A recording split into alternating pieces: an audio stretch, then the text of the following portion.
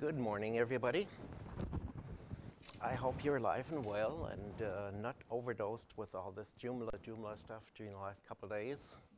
Um, suffering from Joomla burnout and all the technical sessions. Uh, this will be a little different because I'm just a beginner. I just recently started with Joomla and um, I'm going to try to relate my experiences with this. Uh, do you occasionally feel more like this on the left-hand side or more like on the right-hand side? This is where we're at and this is where we want to go, right? That's kind of like what I feel uh, right now too. A little bit about myself. Um, I have worked a lot as a commercial photographer and also as a uh, database application developer and started way back in the early days of computers. Um, most of my computer work has been with PCs and local area networks, not really on the internet side, only during the last six years uh, did I start working with websites, uh, designing websites and stuff like that. But uh, basically, basically, I'm kind of a user-friendly computer nut who started computing in 1979 and who loves to teach human beings about computers on one side and computers about human beings, which is the problematic part. Um, I lived in a couple few different places, like I was just telling over there. Uh, I spent a year as an exchange student in Alaska. That was my introduction to the rest of the world. I spent a year in France teaching English to French high school kids. I spent seven years in Omaha, Nebraska, and seven years in West Michigan. And I currently live in Ladenburg, which is close to Heidelberg or Mannheim in Germany. A couple introductory remarks and some questions. Uh, who of you are beginners with Joomla? I'm, I'm a little scared about this.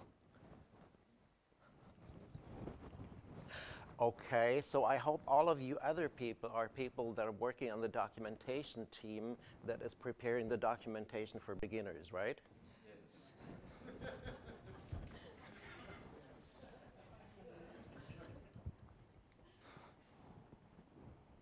what I'm uh, going to talk about refers to primarily uh, to, to Joomla 3, 3.x.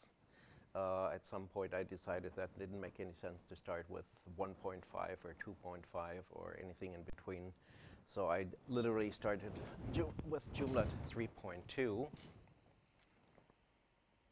If you have any questions, you can always interrupt me. This, uh, this is a small group and we may have a couple of minutes at the end too for questions. Uh, even though I have the feeling the questions are going to go more the other way, I'll be asking the questions. This whole thing is a, um, well, let's call it a therapeutic process. It's about relationships. And we have the relationship between the, uh, well, the geeks on this side, the programmers or the Joomla developers, we have the computer on the other side, and we have the human beings, the end user, basically. And um, now that we have our screen a little bit these relationship need relationships need to be developed, and they can be enhanced, and we can actually work on this. When I started out, this was my first computer basically a box with a built-in keyboard. It was called an Apple II Plus. It had a disk drive with it. That was a great improvement over the cassette decks before. It had 100K storage, 140K storage. And this monitor had uh, 16 lines on the screen, green on black. It had 40 characters across the concept, concept of proportional characters didn't exist, not, not on the computer end uh, anyway. And um,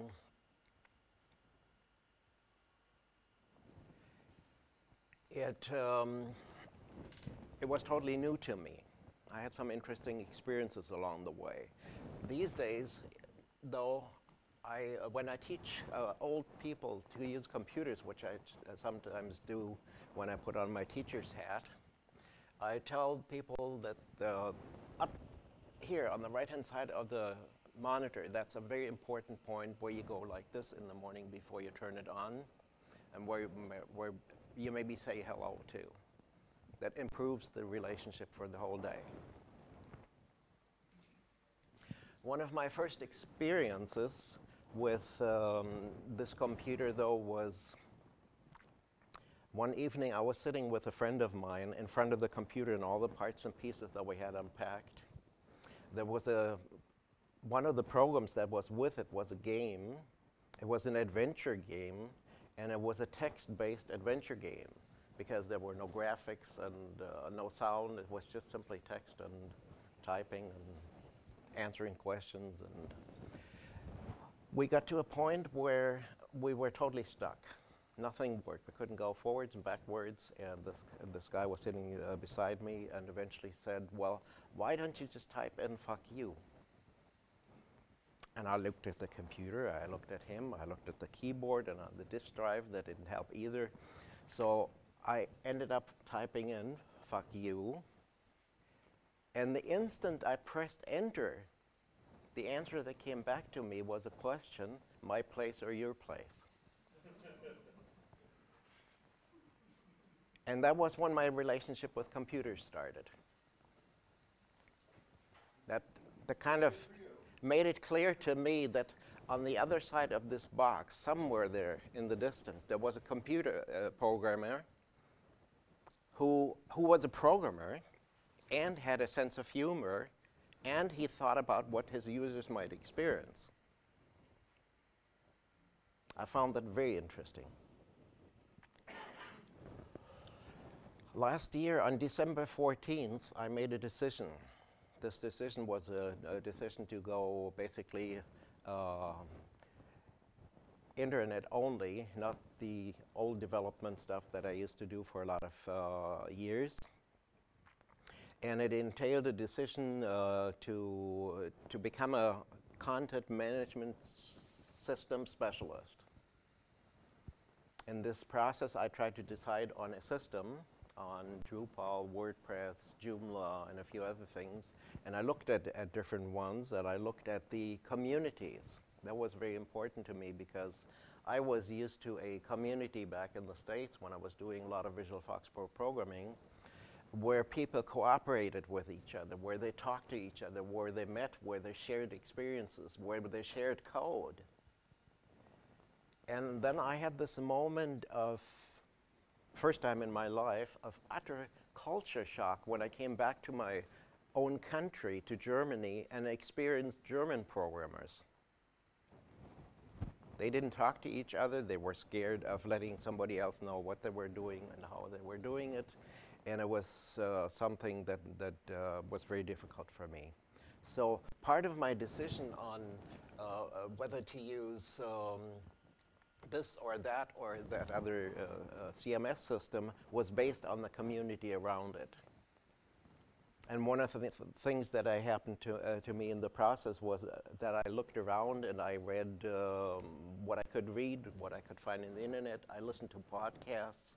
For example, Peter Bui, who, who's here at the conference too, uh, does this uh, Joomla Beat podcast. Who of you knows that? Have you watched that? That's where I first found out about the details of Joomla and who to talk to and where to find things. It was very interesting for me. But after I made the decision to, to go with Joomla and Joomla only, I made the second decision that was to make the right decisions in the process of learning Joomla, and I'm still working on that. Why I made all this, uh, why I did all this decision making was simply because I wanted to change my life a little bit. I wanted to work more in a team rather than by myself in front of a computer in, in a boxed uh, cubicle where I didn't see any other people or I didn't talk to other people. I wanted to get away from the PC programming and switch to the server si side of life, basically. And I wanted to be able to do my work uh, anywhere, like on an island that has internet, or in a train, or on a plane, or at home, or at, away from home. Just be more independent of all the infrastructure that I had developed in my office, which I was way too much dependent on.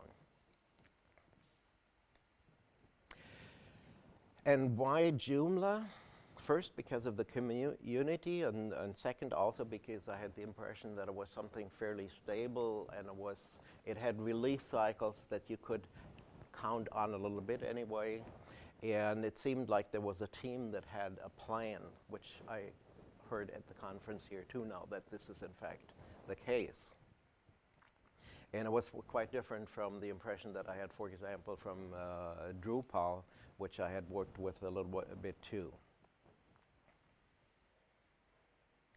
Some of the early strategies uh, for me were, and that's what I would tell other people too that start from scratch, um, take some of your old websites, things that you developed yourself uh, with Dreamweaver or any other tools, and then try to put that into Joomla, which basically, of course, needs to be a redesign then and uh, it teaches you very quickly, though, where the limits are, the limits of what you're used to and how this works in Joomla or how it doesn't work in Joomla.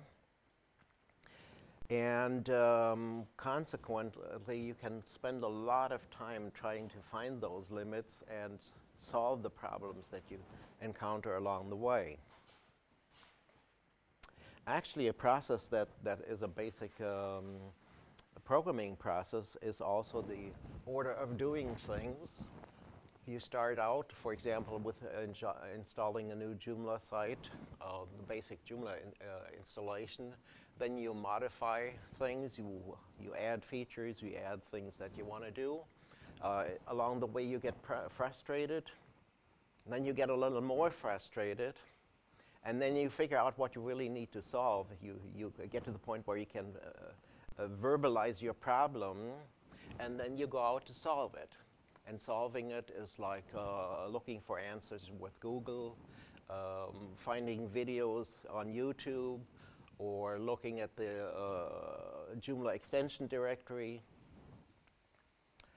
And it helps if you only try to solve one problem at a time. And then there's a real uh, interesting German word uh, um, that's called to verzettel yourself. Don't do that. What that means is basically you start looking at a, look at, looking at a problem. While you're doing this, you, you, you discover a second interesting problem and a third interesting problem. You try to solve all these along the way, and at the end, you don't know where you started uh, with and what you you don't remember what you really wanted to solve. But when you've gone through these steps here, you just simply go back to number two and start over again and keep going through, through, this, through the cycle till, till you're done or till you're tired. And then there's this uh, creature called bugs. There's one thing that you have to be aware of uh, when we're talking about bugs. They come from somewhere. And uh, bugs are always little insects that we previously put in ourselves. You have to think about that. I heard this little piece of advice here a couple minutes ago. Uh, when you write documentation, the less you write, the less you have to translate later. If you put in the bugs first, of course, you have to take them out eventually. You can also go to Wikipedia and find explanations for all this, like bugs arise from mistakes and errors made by people. I thought that was interesting. And they cause all kinds of problems. But it's really not a big problem. All we need to do is we just need to, need to take them out again. Of course, as we heard in the checklist session a little while ago, we could have a check mark somewhere. Uh, did we take out all the bugs or did we make sure we didn't put them in to start with? When you're starting out with Joomla as a new user, you see all these things that you can do with it. You, you hear about templates from all kinds of vendors. I think it's important that you start out with basic Joomla, not with any add-ons, but you have to understand the basics of Joomla, the template that comes with Joomla, in this case in version 3.x. Uh, you have to get to know Protostar, and uh, find out really where you uh, can control this monster. And one of the biggest issues that I had in the beginning was I didn't find this part again. I looked, uh, I, I found myself solve, trying to solve problems like how do I put a logo up here in the top left corner of my screen? I looked at all the module positions and all the places where I could assign module positions like in, in, in uh, to articles or categories or whatever, but I couldn't get to that one spot, the top left corner. And it took me a day and a half till I figured out again that I had to go to the template manager and I had to go there to the point where, it's, uh, where I can uh, install a logo and then it simply worked. And the most problematic corner of my, my screen real estate was that top left corner because either I had a name there and I didn't know how I got, uh, got it in there. It simply was because at some point I had said the description is uh, this title uh, and it was there and I didn't know how it got there and how, how I could get rid of it because I wanted to have a logo instead. So this is uh, really one of the core issues that I ran into, the ability to find things or find them again after I had discovered them once. But I'll get back to that later. If you're really new to uh, Joomla, it can also in, uh, happen that you uh, install a module or, or an extension of some sort, and then you go and try to, try to use it. And you can't for the, uh, you just simply can't find it till you finally discover there's a little notice here that pointed me the right way. It said, you must download and install the plugin slideshow params. Well, I had just done that. And then I discovered it was disabled here. And uh, as, as, a, as a programmer, uh, I have absolutely no understanding for something like this, that the user has to have that kind of user experience. You install an extension, and Joomla immediately decides that you really didn't want it anyway. So I guess um, I'll sign up for the bug squad now and, and help improve the product. product. And um, I suggest that you do that too, especially when you realize that these things are still in Joomla in the Joomla installation process. Another uh, area was localhost. How do I get a website on my local computer when I don't want to want to work online? And I don't know about you guys, but I had terrible problems with it, and that resulted in trying to do it seven different ways and then just working online. And delaying the problem till after the conference because I figured maybe uh, at J and Beyond I find somebody uh, to tell me how to do that.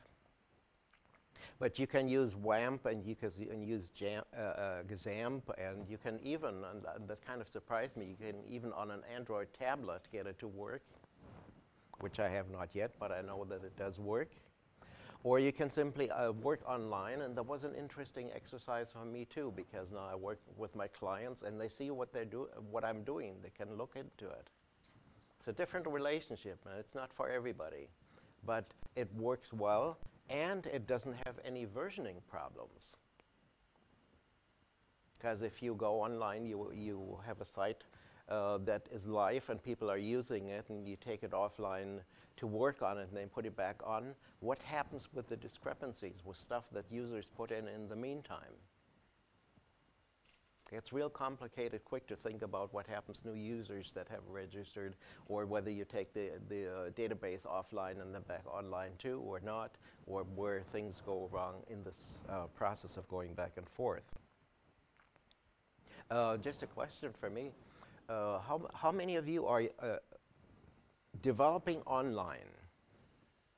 How many of you are uh, working localhost? How many of you do one or the other depending on the situation?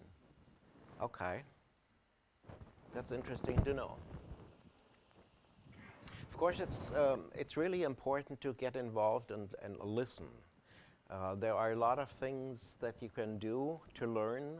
There are video casts, there are podcasts, there are jugs, user groups. Uh, if you're lucky, uh, uh you have some of those close to, you, to you, where you live. Um, the closest that I found for me were Frankfurt and uh, Freiburg, and driving two hours to a users group is, is a lot of uh, driving. So it would help if we had a few more. But there's also a lot of webinars and video trainings from vendors and um, um, people that put out um, extensions, and they do help a lot in the process. And again, there's this Joomla Beat podcast from uh, Peter Bui, where initially I, I, thought it was from Austria, but, but the kind, uh, the, the, the, the accent of the guy doing it didn't sound Austrian. It actually comes from Australia. And uh, what also helps is to, is to keep track of the names you hear, the product names, the, the names of people. Uh, if you keep hearing them again and again, then they're likely to be important and helpful or people that you might want to follow some way or another. In working with Joomla, actually not there, but before in other programming uh, settings, I uh, learned to use two monitors. And using several monitors is something really helpful when you're designing, uh, when, when you're working on your site on one computer and have a reference material on the other side or whatever. And you can use two computers. That's uh, fairly simple and useful if you want to really impress your clients when they come to your office, then you use three computers or, uh, or three monitors or four monitors. Four monitors gets a little uh, complicated when you have glasses, especially when they're bifocals or varifocals, and you find yourself doing exercises with your head trying to follow what's going on. One strange thing that happened to me strange as uh, uh, because it only happened to me when I started using uh, Windows 8.1 is the use of the Windows and arrow keys. I don't know, how many of you are familiar with these combinations, Windows key, left arrow, right arrow, up and down? And how many of those people use several monitors?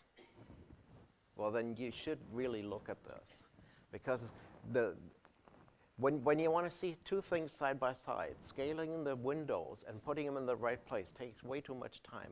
One click puts the active window to the left-hand side, Windows key and left-hand arrow, and another window with uh, Windows uh, key and right arrow uh, puts it right next to it with the rest of the screen, screen real estate. Two clicks instead of seven, eight, nine mouse moves to arrange things. And it lets you take it to the other monitor one more click and you go to the next monitor. So it's a real helpful thing. It's just that nobody ever told me about this.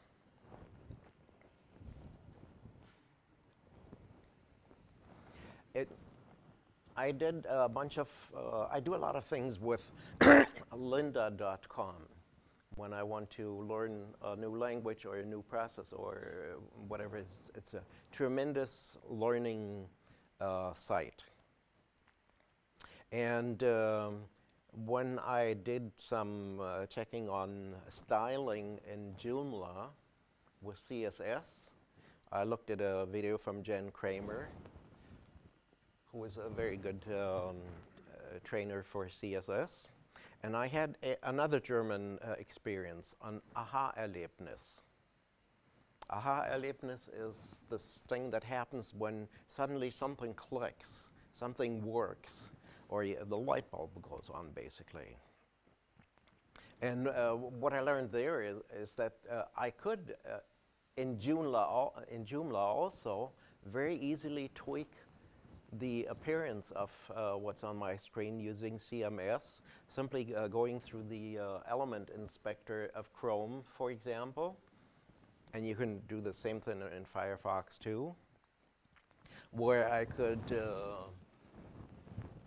For example, look at this element up here. This is just three x's in this description field.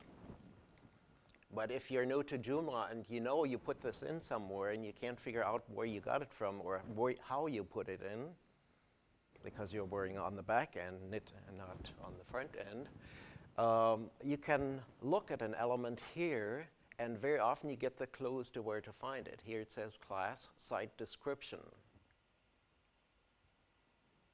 And just above, I even uh, see the, the file for the image that's up here. So looking around here often helps you get a clue as to where you need to go in the back end to find, to find it and where to make a change. This is the same view from Firefox now. Looks a little different, but basically it does the same thing and it gives you the ability to turn properties on and off and make changes. And you can even take those changes later with cut and paste and just put them back in your website by putting it into the uh, CSS file, the appropriate CSS file, and putting it right on the bottom so it's the only thing that's active on the bottom of the stack. And it's an easy way to enhance your website. Maybe you might start uh, think about the question of whether it makes sense to do it that way, or whether you should look at your whole CS uh, structure and put it in a different place so it could be uh, more reusable. But the problem that I ran into again and, and again was this problem of how do I find things? How do I find things that I, uh, I didn't know where to do, or how do I find things after I did them once, but it was three days ago and I couldn't remember where, where I did it. So this problem can be partially solved by looking at the database. When we work at the back end, we basically put in all kinds of parameters. We give answers to questions, we define parameters, and they somehow end up in the database, in the database behind Joomla, because everything that we do there basically, or almost everything, is stored in the database. So my idea was to think about the question of if we can do it one way, could we also do it the other way? Could we take the database and get clues there about where to do it on the front end or on the back end for the developer. And uh, the best tool that I found for doing that was simply to export the database and then look at the exported data. With uh, PHP My, MyAdmin, you get access to the database. Uh, when you're new to it, that kind of hits you in the face and you don't know what to do. But there is this export option that you can use to do an export in a whole bunch of different ways. And I found two of these, the C CSV and CSV for Excel, the most useful, useful ones. After doing the export, I can look at the file and I can, for example, with a simple uh, text editor, look at these three X's and find exactly where all this is my first clue here is that I see the name protostar, so I can tell, okay, this is probably in the definition of the template, what I'm looking for, or what I'm trying to get rid of. If I look, the, look at the Excel version of the same thing, uh, I can also look, uh, look for those three X's, and I come to a certain cell. This here happens to be F556. Uh, I don't see the X's there, but there's not enough space to sh uh, show the whole context. If I look at the detail, I find the same detail here.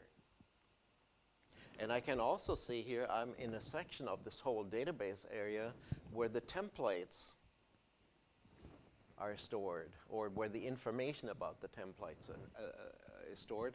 So I can also see there are four templates installed in the site at this point.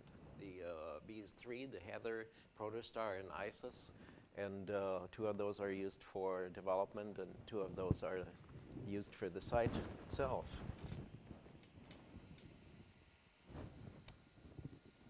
Had you seen that before?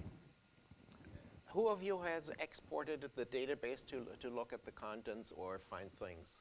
Nobody? You exported it and then ignored it. Yeah, yeah. Of course, you can do it too, and and uh, there are all all kinds of other SQL tools that you can use to look at the content, or even uh, modify the content, like do a, uh, a search and replace type thing.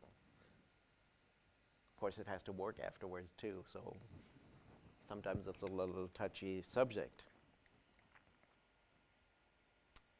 But um, in this data, no matter how we look at it, we can find a lot of things that we can recognize on the on the back end later too. Like here, we have an ID number two.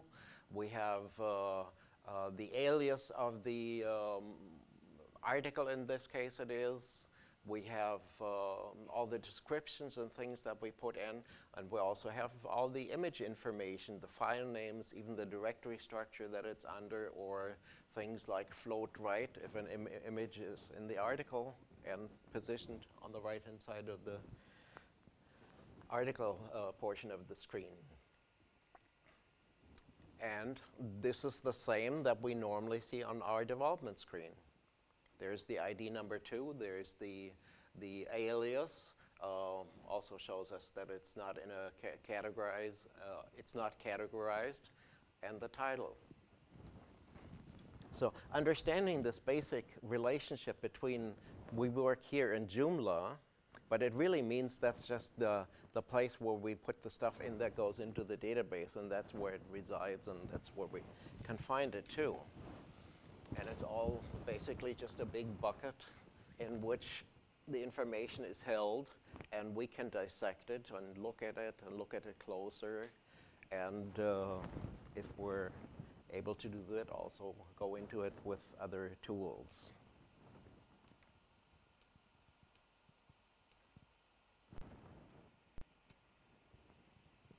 Well, my first thought was, uh, what else can we do with this?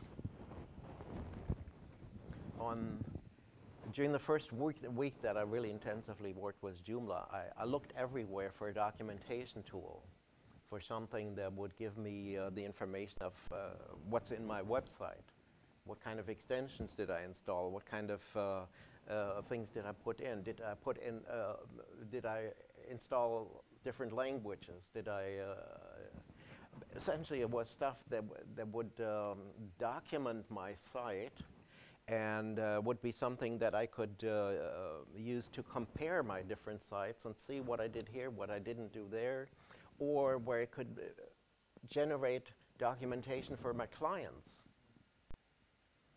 And basically, just selectively taking information from the database to put it into a certain order or structure. It could even show things like menu structure right from the database. And uh, does anybody know if such extensions exist or with what name or what search word, keyword that could be found? I, I come from an, an environment where this is a standard procedure. I mean, you have a problem like this, you look at it and you dissect it, and make a little program out of it, and you can reuse it. Maybe I'll have to talk to some of the extension specialists I don't think it would be that hard. I can even with, uh, do it with my own pro old programming tools, but it wouldn't help somebody else that's deal, uh, dealing with Joom Joomla.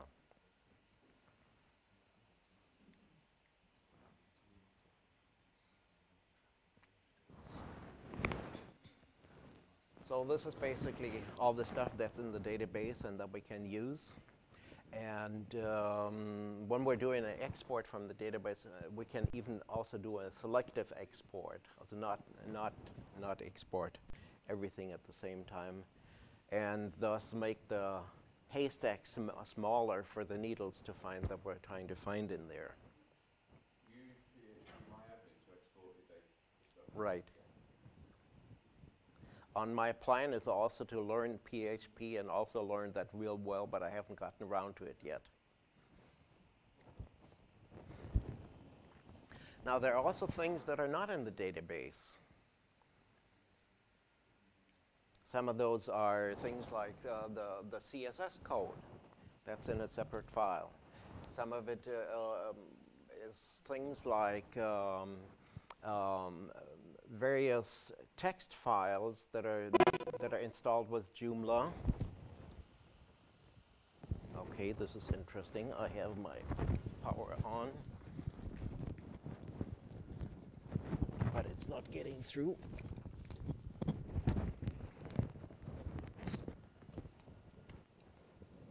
And of course, there are all the document files and image files that are just somewhere in the uh, directory structure. And there are the uh, installed extensions and templates and libraries and language files. Those are, those are not in the database, but can be found elsewhere. And what's um, a few words about data in general. We have data, most of the data that we have in Joomla is data that has to do with the system, with the installation, with the website itself. But there's also the, the data that comes from the user. In your standard in installation, that's mainly the user information, the, the registration stuff.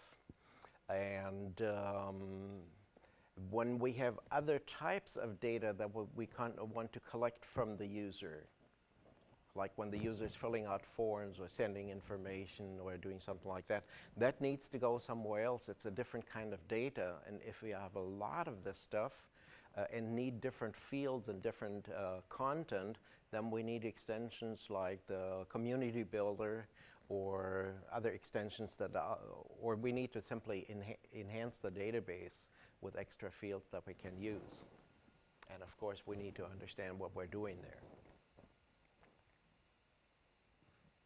A discovery for me was also to realize that some of the th things that we see in our extension manager or in our module manager uh, show up simply in the directory structure of the installation. Like this parallel uh, parallax CK module, or it's a, it's it's a um, plugin that we use here actually shows up as a directory. And uh, I found out that was a quicker way to find out what's installed in my site than looking through the Joomla backend.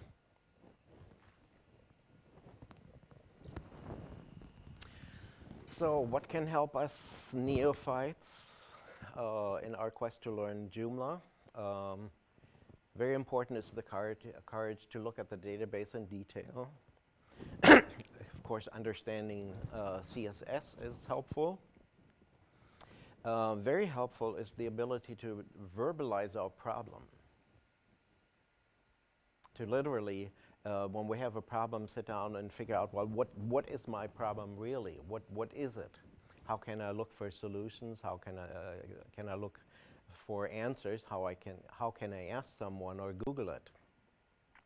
And sometimes it even helps us to take our problem and just go running in the forest or riding a bike.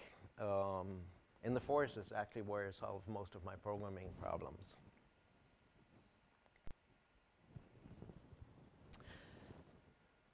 A very important habit is uh, writing cheat sheets and uh, basically writing down things that you did once and figured out how, how they work. The older you get, the more helpful it gets us because short-term memory gets to be more of a problem. And three days later, you sometimes just simply don't remember how you solved the problem. Basically, it's documentation for yourself um, in your own words, in your own language, and it can, can, also uh, entail structural uh, representations that help you with um, the structure of the site or menu structure and similar, similar things. Where do you store that? Pardon? Where do you store that Um, I have a couple different ways of doing it. I use uh, Word documents because they're searchable and I can have formatted text in there. Often I use simple text files. And uh, one thing that I'll mention uh, a little later again too is I do screen printing. In certain spots, I see something. I don't write it all down. I just make a screen uh, screen print section. Um, do you guys know Snagit? The program called Snagit can take any portion of the screen or even scroll stuff that, that, that's beyond the end of the screen And I can then paste that into a Word document, make it smaller so it's not so big, and uh, it's a good reference for me to quickly go back to and find what I did or where I did it or where I had a little uh, reference to the particular issue.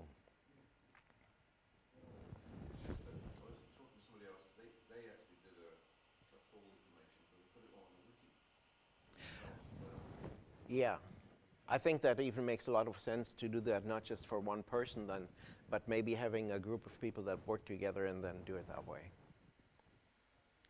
It's all a, question of uh, a little bit of thinking ahead of time and doing some design thinking to make that work well. Um, purely for myself, I have a directory where I have all these. Yeah.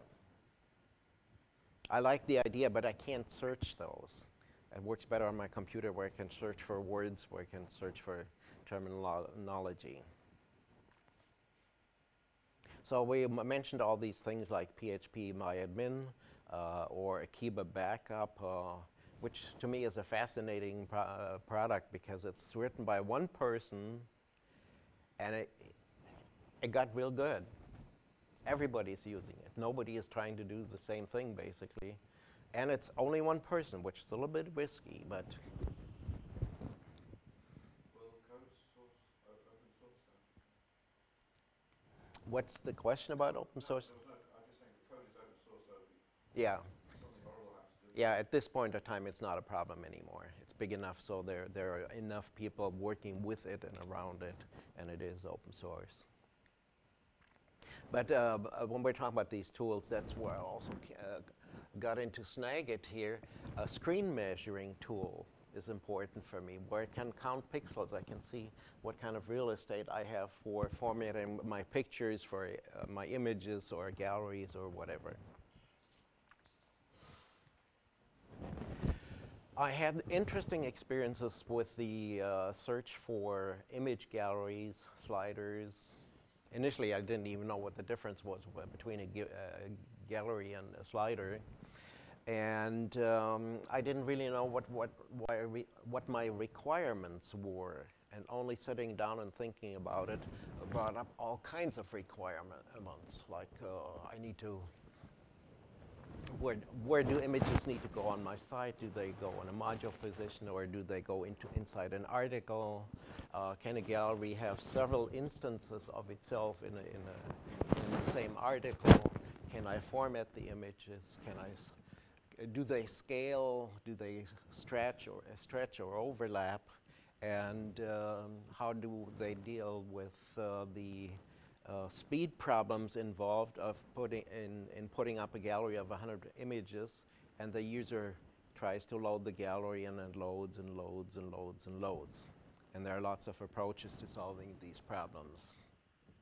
One real big problem for me was also the display of metadata. The stuff that is inside a JPEG file, for example, like the, the title of the image or the, uh, the author or photographer or uh, things that somebody else can put inside the picture so I don't, ha- don't have to do it when I put it on the website. And there are very few uh, gallery programs or extensions that actually do that. Or the ability to simply take a directory, set up a, gallery for a directory, and then put a bunch of pictures in it, or replace those pictures next month with another bunch without having the work of doing the gallery ag- again. In this um, process, I also um, had the crazy idea that, that uh, people should be able to vote on pictures. I have a nonprofit organization that I work uh, for where they actually want to each put in a vote and then the best uh, voted picture gets to do something or gets into a certain pile or does an exhibit or whatever. And the mechanism to do this kind of voting, and I'm not talking about starring it, like one star, two stars, or three stars, but collecting the, the votes and one only per person that does the voting, and then um, getting this information consolidated and published again the other way as a result. And I found it very difficult to fi- uh, find answers to these problems. menu structures. You have a basic menu structure in Joomla, and you have a lot of extensions that you can use, or part of a template uh, vendor situation, you have a structure that does menus for you. But menus, uh, when I first uh, uh started with Joomla, I tried to put a menu together before I started put, uh, adding my articles. And we still have to do everything backwards in Joomla. It could be solved, that problem.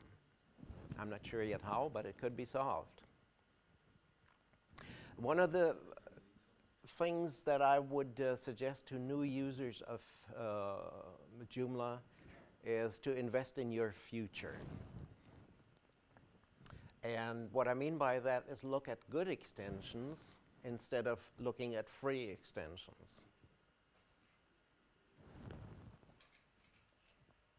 And when you're looking at one, of course, you look at the demo, you try out to figure out who produced this, whether this is a single person or one that's been around, or whether that add-on works for all current versions. And you look closely at the documentation. And when you're done with that, then maybe you just buy the expensive version because that's, uh, that's the one that has the best documentation or that actually is the best. And you learn it inside out. But um, free extensions are something that I stay clear of unless I understand their business, uh, their business model and see how they make their money. Because if it's just free and they do it in their spare, spare time, they're not likely to be people that are around when I have a problem six months down the road or two, two years down the road. For hosting Joomla sites, I've uh, found that that makes a lot of sense to look at Joomla specialized hosting sites. I mean, you can put it on just about any provider system, but um, I had very ex uh, good uh, experience with cloudaccess.net, and they also do a lot of good webinars. And uh, the same applies to SiteGround. Um, neither of them are in Germany, which would be helpful for me because I'm operating in Germany, but that's not a big issue these days anymore either. Except that Germans prefer really their sites to be hosted in Germany, even though the NSA gets them anyway. When I evaluate vendors, I look at who they are, how long they've been around, whether their offerings are current, what kind of support they have, uh, what time zone they're in is sometimes important too, and also the language they speak when you call them. And of course, whether they can be called in the first place. One of our problems in Germany uh, is that there are a lot of companies that you can't get out of outside of their normal working hours, and even the, then you get into a lot of computer recordings and stuff like that and I'll, I'll look at the cost, but as I said before, if they're free, I kind of ignore them. And I look at whether they appear in the JED. I found a lot of stuff that I didn't find in the JED. I found through Google searches. But if I can verify that they are in the J, uh, JED, that's helpful because then I know somebody has looked at it and it's something that has a little better potential than if it doesn't appear there. I had one very bad experience with my search for galleries. I found this product called HighSlider. And in the description, it sounded real good. It did a lot of the things I was looking for, and optically, the results were real good. I, I, was a little surprised when I realized that I had to install the program on my computer and that was after I had purchased it because I thought it was good. And then, then I put together a real nice gallery. It worked, worked great and it uh, looked great. The final part was trying to make it to work in Joomla, and that's when, when it stopped working. It was just impossible to get it installed in Joomla. And uh, then I looked in the JED and I found out it wasn't even listed there. I wasn't quite sure whether there wasn't any more or why not, or uh, I knew that they had reduced the JED to about half the size. and weeded out a lot of stuff. And later I found out, weeks later, I found out that what actually had happened was this thing generated a plugin. And it took like 45 minute, minutes to, to generate one gallery. And then you had to install that as a plugin. And I never uh, figured out that I had to wait for, for 45 minutes to see even what came out of it. I thought the thing had just hung. So I learned a little bit to do things on a slightly dif- different order.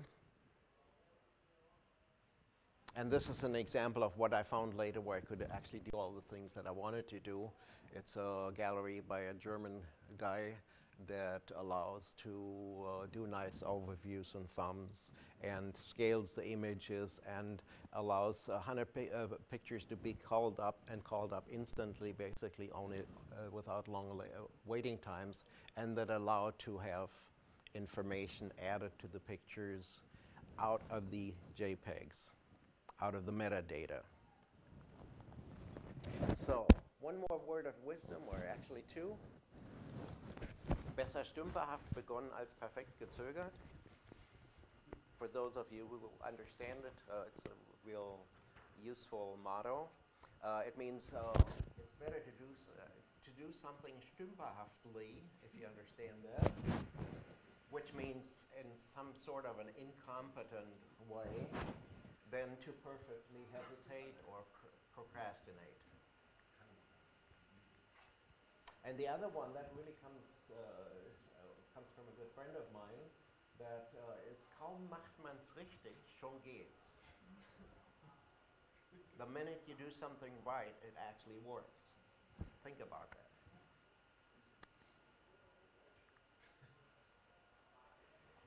The thing that I learned uh, what I had to learn was simply thinking, learning to think Joomla. To think Joomla, to, li- to live Joomla, to like uh, Joomla, and not to fight it. It's kind of like a, a, a foreign language. I had all these questions that I started out with, and I'm not going to read those to you. You had them in your conference materials.